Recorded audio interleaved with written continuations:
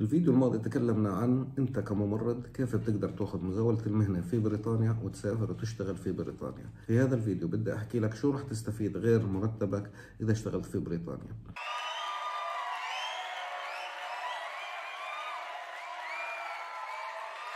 السلام عليكم ورحمة الله وبركاته. أنا محمد ناصر أبو يوسف. بحييكم من قطر من قناة مذكرات ممرض. وبنتكلم في هذه القناة عن التمريض مهنة العظماء. لو عجبك عنوان الفيديو خليك معنا للآخر. hand washing البس gloves لا تنسى ال mask وتفضل معنا. أنت كممرض لو حصلت على مزاولة المهنة البريطانية واشتغلت في بريطانيا راح تحصل على الفوائد التالية. اولا راتبك الأساسي هذا فيش فيه نقاش. رقم اثنين بدل السكن. فلو أنت كنت أعزب أو متزوج راح يعطوك مبلغ من المال يكفيك للسكن أول شهرين أو ثلاث غالبا. لأنه كل مستشفى له عروض وكل مستشفى له سلم رواتب مختلف. إشي بسيط عن المستشفيات الثانية. أي مستشفى عدد البيوت اللي بيوفرها لموظفينه بيكون محدود. فممكن يكون عندهم 100 شقة واللي بيشتغلوا عندهم 110 فيا بتلحق يا بتلحقش ممكن يعطوك فلوس ويقولوا لك دبر حالك في أي شقة في حدود هذا السعر وأنت حر. حابب تستأجر بهذا السعر حابب تحط فوقيه وتجيب شقة أحسن هاي مشكلتك. فهم ما راح يعطوك سكن راح يعطوك فلوس وأنت تحاول تجيب على قدها بيت رقم ثلاث تذكرة الطيارة. خصوصا أول مرة أنت بتروح فيها على بريطانيا معظم المستشفيات بتقول لك التذكرة على حسابنا انت تذكرتك على حسابنا وزوجتك واولادك على حسابك. فبدك تنتبه من هذا الشرط وتدور عليه مزبوط في العقد قبل ما توقعه.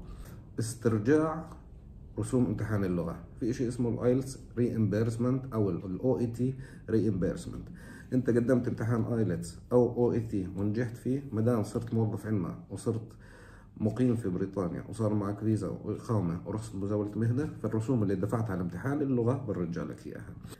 طبعا بعض المستشفيات تعطيك هالفلوس مش كلها. امتحان ال IELTS بكلفك بحدود ال 200 دينار. امتحان ال OET بكلفك بحدود 290 أو 300 310 شيء بهالحدود. رقم خمسة في شيء اسمه استرجاع رسوم التأمين الإضافية اللي بسموها Health Surcharge Reimbursement برضه لما انت تقدم لفيزا تاير 2 للسفارة البريطانية وانت لسه في بلدك لازم تدفع رسوم تأمين إضافية اللي بسموها Health Care Surcharge. هذه الرسوم تخولك للتمتع بخدمات ال NHS أو نظام الصحة الوطني البريطاني بجميع أشكالها سواء وصفات طبية علاج أسنان علاج عيون تفصيل نظارات متابعة الحمل للسيدات ما في إشي يعتبروه تجميلي أو زيادة. قديش بكلفك هذا التأمين؟ 200 جنيه استرليني لكل فرد بالسنة. طبعا حسب الفيزا. ممكن يعطوك فيزا لمدة خمس سنوات فأنت بتحسبها. 200 جنيه في خمس سنوات 1000 تدفع 1000 جنيه عن كل فرد من أفراد الأسرة سلف. أنا عندي خمسة ثلاث أولاد وأنا وزوجتي. بدفع 5000 جنيه استرليني بدل التأمين قبل ما أسافر من بلدي. رقم ستة امتحان ال OSCE. برضه له reimbursement أو إعادة تعويض للتكاليف اللي دفعتها. أو ممكن هم أصلا يدفعوا عنك تكاليف الامتحان وإذا نجحت ما يطالبوك فيها. راح تروح المستشفى تبلش شغل كبراكتيكال راح يعطوك الكتب والمراجع اللي لازم تدرس عليها للامتحان ويا إما بتقدم الامتحان من جيبتك ولما تنجح برجعوا لك إياهم يا إما هم بيدفعوا عنك وإذا رسبت بتعوضهم أنت. طبعا هذا حسب اتفاقك مع المستشفى مش كل المستشفيات واحد. الامتحان بكلف 992 جنيه استرليني يعني حوالي 800 دينار أردني. رقم سبعة وهي طبعا مش كل المستشفيات بتعملها في زيادة على الراتب في الشهر الأول. بعض المستشفيات بتعرف إنه أنت جاي من بلدك جديد معكاش فلوس تستأجر بيت دفعت تذاكر لزوجتك واولادك كثير يمكن تكون طالع من بلدك وعليك دين أصلا مش متعود على المستوى المعيشي هون يمكن ينضحك عليك تستأجر بيت غالي وفي حواليه بيوت أرخص منه. فهم أول شهر بعطوك ما يساوي راتب شهر زيادة عن أصلا راتب السنة كلها. على أساس تعرف تدبر حالك وتستأجر بيت وتطلع كرت تأمين وتطلع بطاقة ضمان اجتماعي وتطلع كل الأوراق اللازمة أول ما توصل. مهم جدا جدا. ما حداش يقول لي أنا حكيت مع مستشفى في بريطانيا والتفصيل المعينة أو الإشي الفلاني ما اتفقنا عليه أو ما وعدوني فيه. أنا صرت قايل خمس ست مرات تفرق من مستشفى لمستشفى. فإذا أنت مصر على مسألة تذاكر الطيران دور عليها في العقد شوف عليك ولا عليهم. إذا أنت مصر على قصة التأمين الصحي دور عليه بالعقد شوف عليك ولا عليهم. اقرأ العقد كويس قبل ما توقع عليه.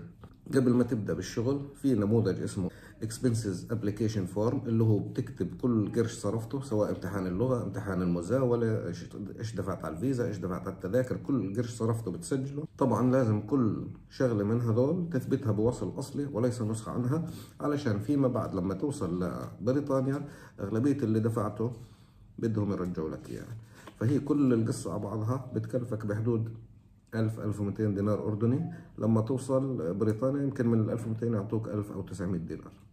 أهم سؤال بسأله دائما لو أنا رحت على بريطانيا بعد كم تجيني الجنسية؟ أنت لو اشتغلت في بريطانيا بعد خمس سنوات بشرط إنه كل سنة تقعد أقل إشي تسع أشهر جوا بريطانيا وثلاث أشهر برا بريطانيا تجيك إقامة دائمة. بعد كمان سنة يعني بعد ست سنوات تجيك الجنسية. خمس سنوات منهم على الأقل تسع أشهر داخل بريطانيا كل سنة إقامة دائمة زائد السنة السادسة تجيك الجنسية البريطانية. الفيديو الجاي راح أقول لك بالتفصيل شو أنواع عقود العمل اللي ممكن يلاقيها الممرض في بريطانيا لأنه الممرضين مش بس بيشتغلوا part time أو full time في أنواع كثيرة موجودة راح أحكي لك عنها بالتفصيل. لو عجبك الفيديو لايك للفيديو لو عجبتك القناة اشترك بالقناة وفعل زر الجرس عشان يوصلك جديدنا أول بأول والسلام عليكم.